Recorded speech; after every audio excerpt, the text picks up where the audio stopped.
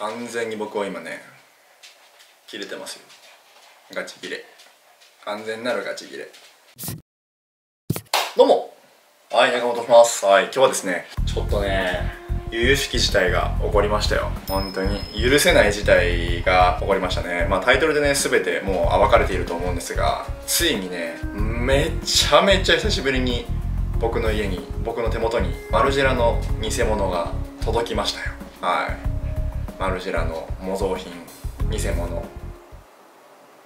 まあともう言い方思いつかないけど。いやもう許せん事態本当に。僕結構マルジェラ持ってるんですよ。マルジェラもう本当に正直何百着って持ってるのでこの前ね僕マルジェラ大好きだったってことに気づいたっていう動画も上げたぐらいだし後ろのあのら辺もねマルジェラでね結構これもマルジェラでねこれとか42万したよみたいな感じでね結構すごい大好きなんですけれどもちょっとね本当に今回は許せないというか偽物っていうのがこう手元に来た時のこう絶望感というかこう高いところからこうトンって落とされた感じ押されてやった変えた嬉しいからのこう地獄みたいなっていうのもすごい感じて正直怒ってるガチギレとか言いましたけどまあ通り越して呆れ笑いみたいな。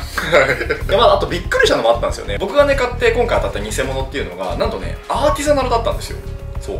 だから珍しいんですよね。しかもそんなに有名な方じゃないというかそんなにポンポンポンポン出回るようなアイテムじゃないものの偽物が作られていた売られていたっていうことに対して僕は結構びっくりしていて結構僕聞かれるんですよ DM とかでこれ本物ですかね大丈夫ですかねみたいな感じで結構聞かれるんですけれどもやっぱね写真とかじゃわからないものって結構多いので本当にねめっちゃいい例なんですよ。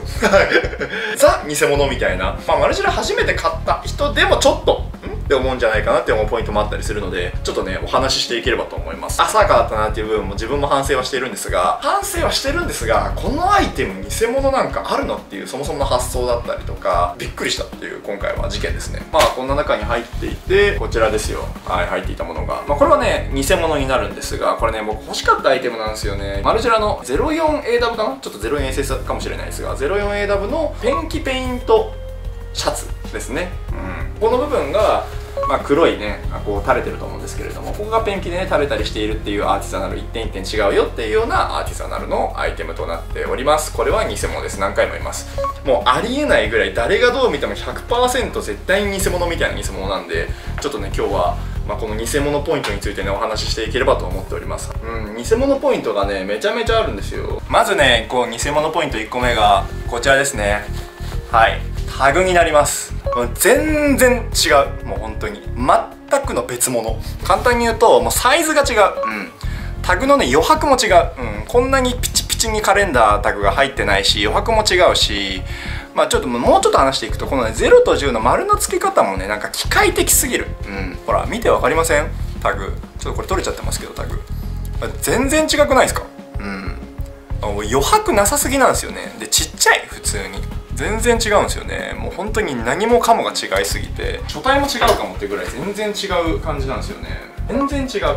もう全然違う、うん、違いすぎて素材が違う。なんかもうちょっとねこう白タグってやばいんですよ。白タグってやばいイメージなんですけどもう完全になんかもうガーゼみたいな、うん、この感じわかるかな？ガーゼみたいな。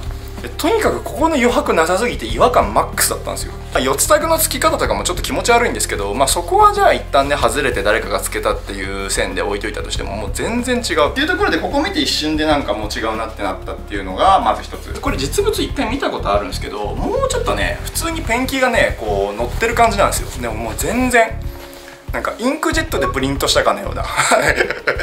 綺麗にプリントされてるねって感じになっちゃってるんですよね。裏とか見ていただくとねこんな感じで分かりやすくこのプリントが入っている場所っていうのは、まあ、正直アーティゾナルで一点一点違うって言われたら説明がつくかなって思ったりもするんですが、まあ、こんなに安っちい感じっていうのがこのシャツならではということで2ポイント目って感じですね。あと紙タグなんですよ。紙タグがついていて、ね、このタグがね作った人余計なことしちゃってんなっていうところがあって、まあ、全部余計なことしてるんですけど一応メゾンマルタンマルジャラっていう風に書いてあるから、まあ、だからこう2015年より前。まあそれはそうですよね。04AW のでアーティゾナルなんだから。もうこれはねこのエンボス加工というかちょっと浮いてるんですよ。カレンダータグとマルジェラパリって書いてあるのが浮いてるんですがもうこれがねなんかもう全然違う。太すぎる。うん。文字の太さが太すぎて全然違うんですよ。でもう一個。これがねもうギャグですよ。最後のポイントはもうギャグみたいな感じになっちゃってるんですけれども。品質タグですね。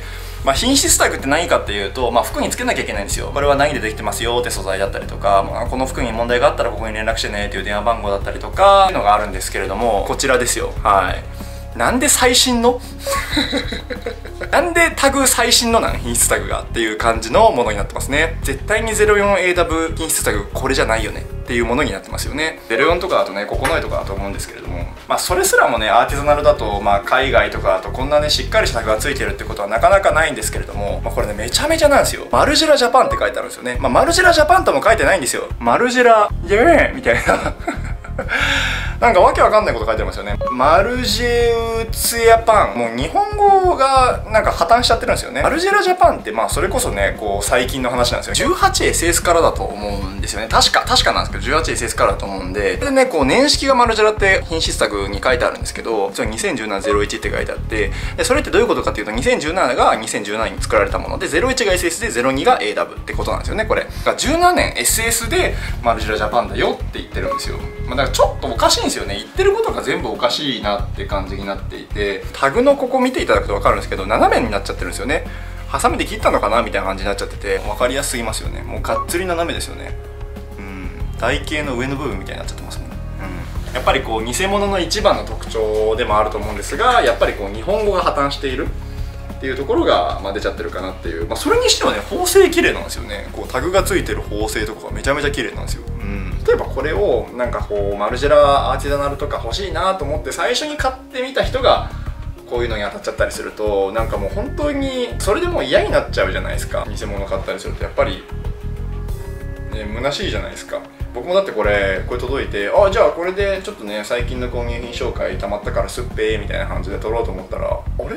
何これ？たいなパリッと開けてみたら地獄みたいな感じだったので僕もねちょっと安易だったところもあるんですがパリとかだと偽物に当たるのってめちゃめちゃあのよくあると思うんですよ。人気アイテムだと思うので。こんなニッチなアイテムで偽物があるってことはマルジェラも何の偽物があっても不思議じゃないってことが判明したので買う前に分かんないことってやっぱあるんですよ。僕もねこう年間何百件で通販やったりしますけどほとんど偽物ってっていうかまあゼロだったんですけどここ何年間か。まあでもそういう人間でもやっぱりたまに当たっちゃうっていう話なのでやっぱりどんな方でも当たる可能性はありますよね。まあ四つタグみたいになってるじゃないですか。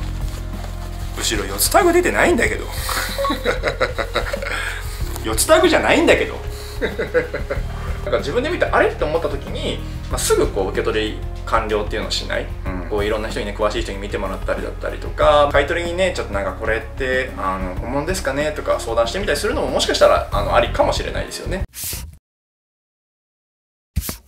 はいこんな感じでね、えーと、今日はマルジェラの偽物が我が家に届いてしまったということでうんとても残念ですってお話でしたね。ちょっと皆さんにお伝えできればまあ少しでもねこうちょっとあれ？ってなった時に見返してもらえたりすればああこれ一緒やんとかなる可能性も全然あると思うのでぜひ気になる方はね、えーと、何かあったら、まあ、この動画見返してみたりとか、まあ、こういうこともあるんだっていう風にあの思っていただければ幸いかなって感じです。本当に同じ思いをしてほしくないです。まあ許せないは許せないんですよね。やっぱりこういうデザイナーズブランドってそういう背景だったりとかこうビジネスじゃないところで成り立ってるものも多いブランドさんたちだと思うんですよ。まあ完全にそれを本当に侮辱してるだけの行為だとは思うのでじゃあこれぐらいだったら騙せれべみたいな感じで多分作ってるところがあると思うのでまあねなんか全部が全部本当に全ての人たちというか関係者をバカにしている行為にしか僕は感じられないので本当にまあ、ね、今ちょっと半笑いで話したりもしてますけど呆れてるとか言ってますけど、まあ、本当許せない行為なのは間違いないですね。決してね偽物を助長している動画ではないので本当に絶対に許せないっていう話なのでちょっとでもあれって思ったらうん。